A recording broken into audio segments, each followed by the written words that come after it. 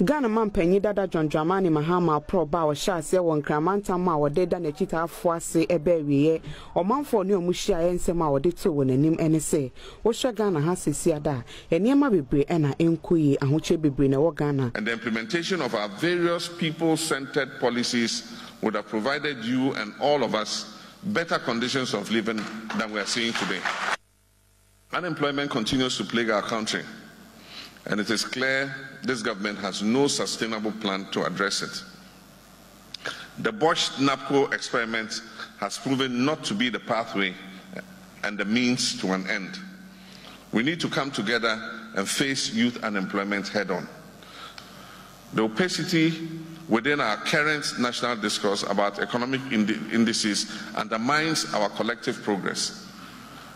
Debates about the true state of the nation, its debt levels, exchange rate tra- trajectory, or even growth numbers underpin the need for strong institutions that cannot be subverted by individual preferences.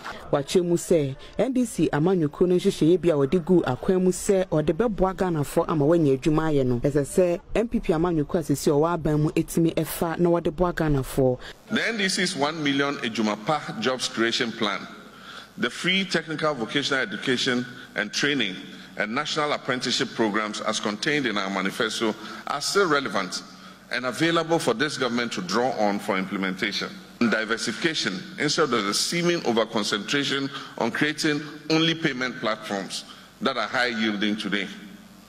I believe, for example, that telemarketing and online internet shopping will continue to offer opportunities for our youth in the distribution value chain.